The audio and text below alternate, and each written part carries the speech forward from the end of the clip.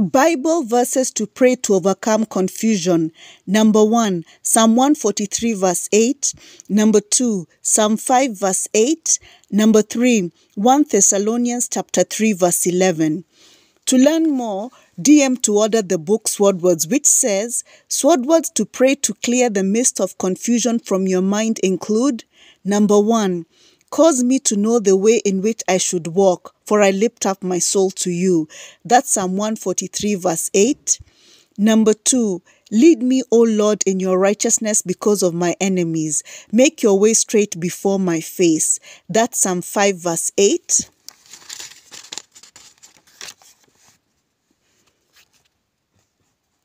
Number 3.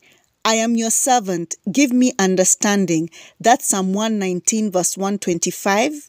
Number four, may our God and Father Himself and our Lord Jesus Christ direct our way. That's 1 Thessalonians chapter 3, verse 11.